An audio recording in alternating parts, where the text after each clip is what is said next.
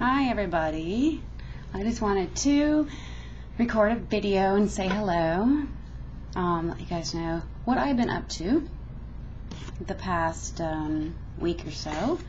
Uh, school, oh my god. So much school. I love it. You know, at first I was really, really, really nervous about it, I have to say, you know, and now it's like three weeks into it, and now I feel a little bit better about it. Um, my birthday was a couple days ago on the 14th, so um, I'm older. Older, wow. Um, I'm okay with getting older. Actually, it's just uh, older. Hmm. I'm older. I am older. I'm five more years until 40. when I put it that way, it's like, oh my God. Whatever. So, um, I did my first editing project for school um, on Final Cut. It was so great because I don't know why or how, but I knew it. Like I knew how to do it. All the teacher had to do was basically show a couple of basic things. Basically show a couple of basic. All right, whatever. All the teacher had to do was show a couple of basic moves, and I suddenly just like caught on. And even our teacher said, you know, it'll just um, suddenly a light will go off in your head, and you you'll have an epiphany, you know, and it's like, oh, that's what it was. So um, I've been able to teach myself every editing program there is, just about, except for Final Cut. And now now that I'm learning more about it, it's so fun. And I have this guy from my school, Aaron. He helped me. Um, we actually shot our first. I guess it's like our first product production. I was the producer, and there was um, a co-producer, a director, and uh, a video editor, which I was also the assistant video editor, if you will. And um, then there were actors or talent and it was really really fun. And the team that i worked with um, um, it was great. I had a wonderful time doing it. I know that's what i want to do. I want to um, direct music videos and uh, possibly well not possibly and do documentaries for the most part. And um, maybe do a couple of uh, uh, well a couple lot a lot of independent films you know the sundance ones but um, that's I'm thinking like really far in the future right now. So um, it's just something to keep my mind on, to keep my dream alive, so I can put forth a goal to achieve and work towards, if you will. And um, it makes me feel really good that I could actually do something I love to do.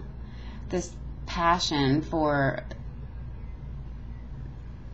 for the, the degree I'm going for is is so phenomenal. I've never felt like this. I've been to school for a few different things, including photography. However, um, there's something different about this one. This there's something different about it. I feel a lot a lot more different about it. If that's correct grammar, I'm in um, a class for English, you know. So I'm practicing proper grammar. I'm sure I'm probably messed everything up so far is composition. So uh, I just wanted to give you guys an update on how I was and still smoking and still drinking my Starbucks. Uh, I love it. Um, I tried to curl my hair. I actually had it cut a little bit shorter because it was very long before. I thought it was a little bit too long, so I actually um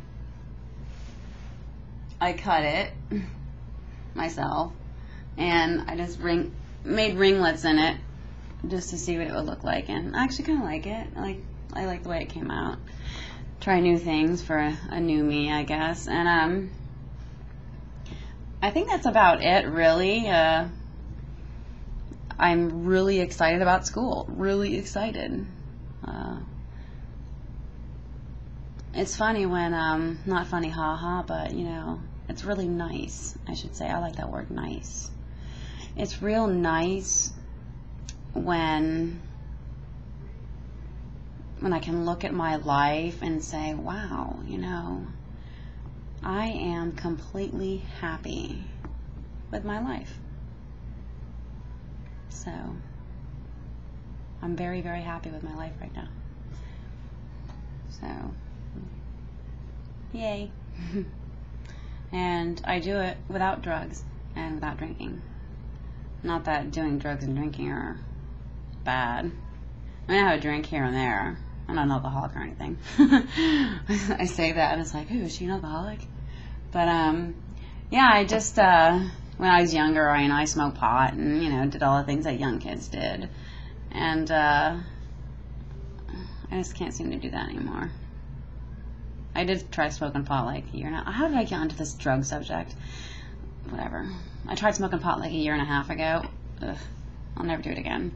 I thought I was gonna like die Okay, anyways, uh, I don't know why I just like brought that up.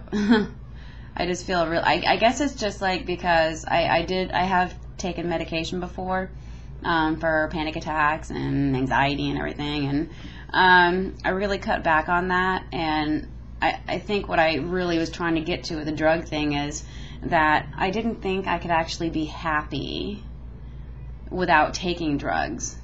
You know, not the drugs like non-prescription drugs, but like um, an antidepressant or an anti-anxiety medication. So I'm just very, very happy, and it's hard for me to believe that. Am I really happy? I mean, I'm sure I'll have my situational depression come up, but I'm just really happy. And again, you know, I say repetitively that it's hard for me to believe that I can be happy because I haven't felt like this for a long time. I was stuck at a dead end job. I couldn't, I liked my job. I couldn't stand my boss. Um, and I was miserable there. The people there, I, I could care less about except for a few. And I keep in touch with them. So I was so miserable with my life. I hated the relationship that was going on with certain people that I had um, a lot of love for.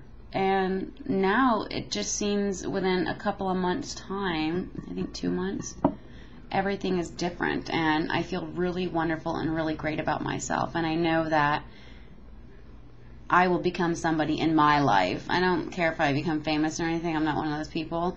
I just want to do something that I'm passionate about, and this seems to be it. And it feels really good. So if you're stuck in a dead end job, here I'm going to sound like a commercial. If you're stuck in a dead end job, um, change your life. And for years, I just didn't change my life. I thought, well, hey, you know, I'm just this girl who's never going to go to college, and I'm just going to be whatever, and stuck at this job and not be happy with it, and go home and be miserable, and wake up and go to work and come home and be miserable again. And I'm sure you guys noticed that I lost a lot of weight from doing that. I just was so miserable. But now I just, um, I'm eating. I actually have food in my refrigerator. uh, I'm not anorexic or anything, but you know, it's just when when someone is depressed, they just like. Let me not just say someone. When I'm depressed, I really don't do anything. You know, I just hardly eat anything. I hardly go out. I just like you know keep myself as a hermit. However, now that I'm not depressed, it's such a, a wonderful thing. I go to the grocery store, I cook for myself, I clean. Well, not in the past week because I've had like a lot of classes. I take a class every day. So, um, five classes total.